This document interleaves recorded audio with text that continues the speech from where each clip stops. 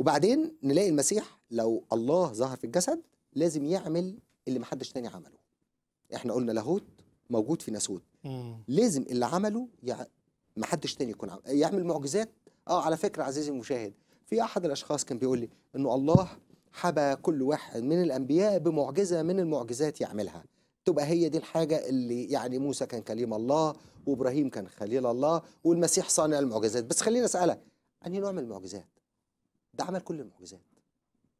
بس عملها كمان بطريقة مختلفة حتى لو في حد عمل معجزات زيه هو عملها بطريقة مختلفة. يعني مثلا نلاقي إيليا وأليشع وبطرس لما جو- جم علشان يقيموا ميت.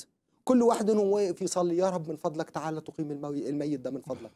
لكن المسيح تقرا الكلام ده في إنجيل لوقا صح سبعة. المسيح داخل قرية اسمها نايين لقى فيه موكب بتاع واحد ميت طالع.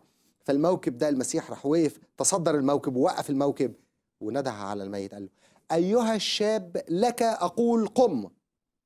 لا خليني أقف لحظة. هسأل السيد المسيح هو أنت مين؟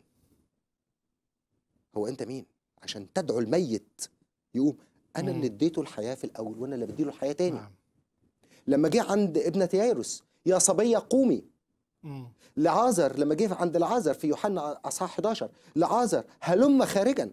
هو بيعطي الأمر لأن هو صاحب السلطان. لما جه يشفي الأعمى آه خليني أقف عند النقطة دي. لما جه يشفي الأعمى شاف الأعمى من خلال إنه حط طين على في عينيه.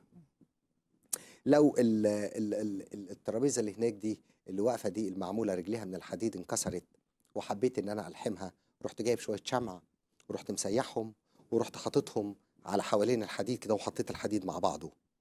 تنفع؟ ما تنفعش. الترابيزة رجلها من حديد عشان.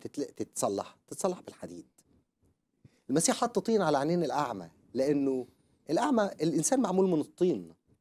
يبقى المسيح لما يجي يصلحه يصلحه بالطين وكأنه عاوز يعلن أنا اللي عملته. الخالق. أنا الخالق وأنا اللي بصلحه. نلاقي المسيح الله لو جه على الأرض هنا هو في شكل إنسان. نلاقي الله لا يحد ال- المكان والزمان نلاقيه يعرف المستقبل. ويخبر بالمستقبل وده المسيح فعلا. مرات كتير أخبر بموته نعم. وأخبر عن خراب أورشليم نلاقيه يعرف الغيب آه، بقف قدام كلمات أو مك- مكتوبة في الكتاب المقدس مثلا في إنجيل أصحاح 22 مم. نلاقي المسيح بيكلم التلاميذ يقول لهم عندما تدخلوا آه، عندما تدخلون آه، المدينة يصادفكم رجل حامل جرة ماء اتبعاه علشان يجهزوا. للعشاء الأخير. أنا بتخيل الراجل اللي حامل جرة الماء ده راح عبى جرة الماء وماشي والمسيح واقف هنا مع التلاميذ هياخدوا مسافة لغاية لما يوصلوا عند باب المدينة والراجل ده ماشي من هناك عشان يوصل وقت ما يدخلوا هم يكون الراجل ده موجود في التوقيت ده يلاقوه قدامهم يمشوا وراه. مين اللي حاسب التوقيت ده؟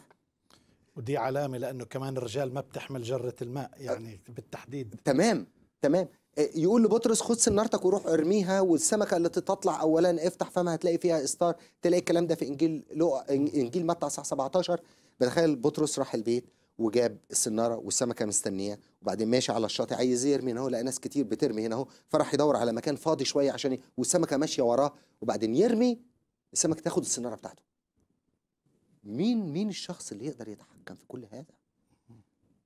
لكن يعرف الأفكار يقف يتكلم المسيح يقول لماذا تفكرون في قلوبكم. هكذا بعد كده اهو آه، لازم تظهر صفات الله المطلقة في سلوكه اليومي زي آه، المحبة المطلقة نلاقي المسيح آه، أحب يقول يوحنا في هذا قد عرفنا المحبة مم. إحنا عرفنا المحبة لما شفنا المسيح